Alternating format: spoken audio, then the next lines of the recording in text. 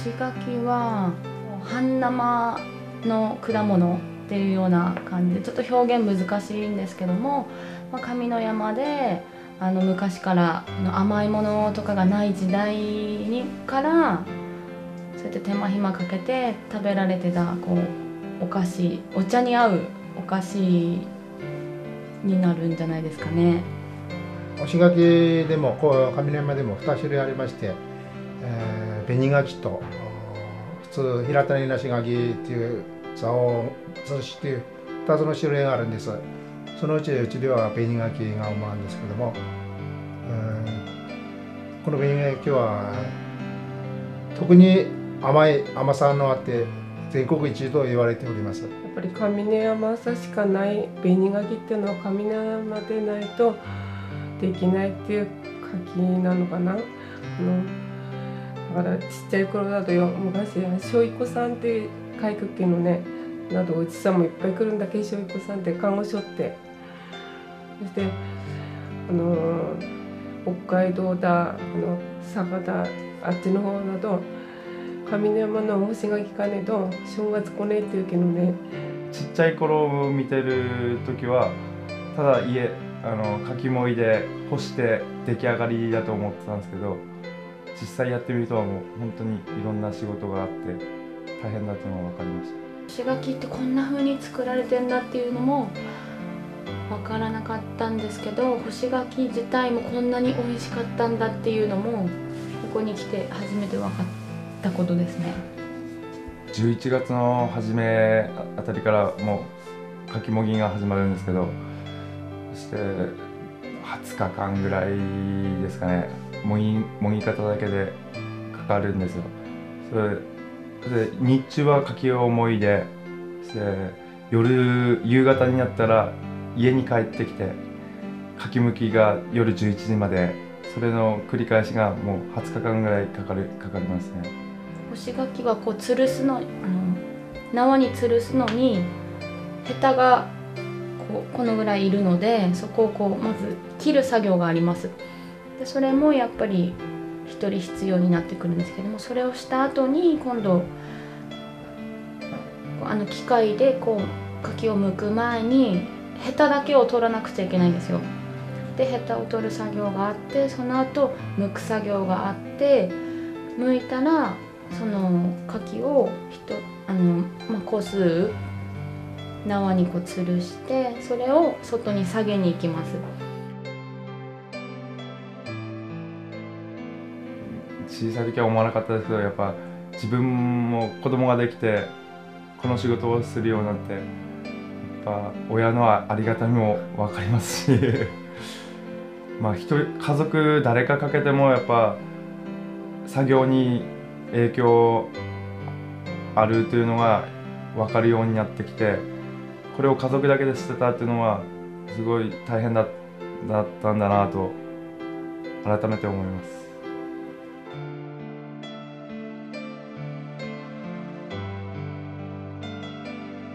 で大体2週間ぐらい外に干してその後うちでは一度こうあの室に入れて硫黄燻蒸をします。一度はこの量にもよるんですけども20分で全部開放して抜きます。出来上がり見ますとあまり長くしても白子の着方が遅くなったりしますのでで3日間ぐらい室に入れてその後あのいろりの部屋に持ってきて、うんと、数日置いて今度その柿をこうたわしをかけますたわしをかける理由としては表面に傷をつけて、あのー、結局砂糖の結晶を作る,、あのー、作るという意味でたわしをかけます。はい、たわしかけしないといつかは来るんですけどもそれでは商品価値がなくなりますので早めに来るようにたわしをかけるわけです。中の糖分を出すっていうかそれをやります。でそのたわしをかけたものをまた今度さ涼しいっていうか寒いところに持っていってであと、まあ、その柿の状態を見ながらあの日数とかこう決まってるわけじゃなくて、うん、白い砂糖の粉白子って呼んでるんですけどもそれの出方が甘いようであればまたあったかいところと寒いところに繰り返し持ってったりとかそれはもう柿の状態を見ながらあの感覚での作業になるんですけどもそれをしてやっとこう出荷できるような状態になったらようなこう丸めたりとか箱に入れたりとかっていう作業が入って初めてお客様の手元に届くっていうような感じになっております。えー、っとやっぱり干し柿は気候に左右されるんです。それで、えー、うちに薪ストーブがありますがここの乾燥が一番良いようです。近所にもありますがやっぱりそれ全員使っております薪ストーブ。あの薪だからこそ色が綺麗に白子の色もそうですけど柿自体もピンクくなるんじゃないかなと昔からそのやり方でやってるんでそれにこだわってやっています。見た通りすごい古いうちで作ってるんですけどもそういったやっぱり普通のこう気密性の高い家で作るとするとやっぱりこう湿気とか、まあ、湿度干し柿はすごく湿度とか温度に敏感なものになるのでいかにこうその水分を上手に抜くかっていうところで出来が変わってくると思うんですけど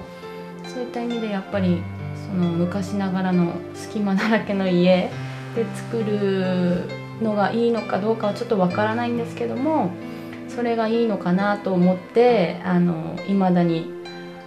新しい家を建てずに干し柿のためにそういったあのいろりだったりとかを使ってやっております。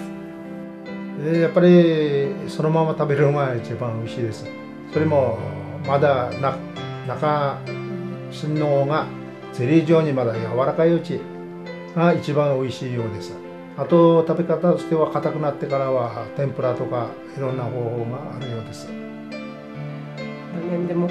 一番いいのはあのその季節の時に食べるっていうのが一番最高でないかなと思うんだけどもお。茶飲んだ時に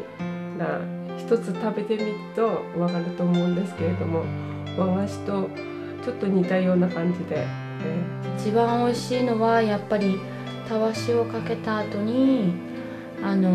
ー、涼しいところに持って行って白子が出始めてあのまあ好き好きもあると思うんですけれども私はあまりこうゴテゴテ白子が来ないうっすらこう薄化粧みたいな感じの時ににこうふわっと柿が涼しいところから少し暖かいところにいろりのところに持ってきたりするとふっくらと膨らむんですね。その時が一番私は美味しいと思います。なのでできればそのままの状態で食べていただきたいっていうのがありますお店とかで買う頃になってるとやっぱり硬くなってる時が多分あると思うの多いと思うので普段のそのふっくらした状態の時のを食べたことがある人っていうのはやっぱりあの、まあ、作ってる人だったり作ってる人から買った人とかっていうふうな多分限定された人しか食べることできないと思うんですけどそれが食べ皆さんがこう食べれたらなっていうのはありますよねそれが本当の美味しさっていうかそういうのを伝えたいなっては思います。結構加工食品っていうのが世の中に出回っていると思うんですけどもあの自然食品っていうのはすごく体にもいいと思いますし健康美容にもいいと思いますのでそういった意味では若い人にもこう受け入れやすいというか食べてただけたらなっていうようなふうに思います。